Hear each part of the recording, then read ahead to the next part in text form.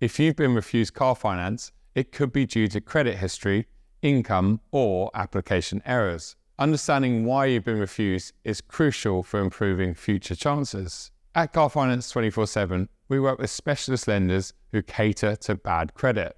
But you can increase your chances of approval by improving your credit score, clearing debts, or correcting errors. What if you're refused with a good credit score? High debt or other factors may impact lender decisions. Facing rejection can be daunting, but solutions do exist. Been refused elsewhere? Apply online today to see if we can help.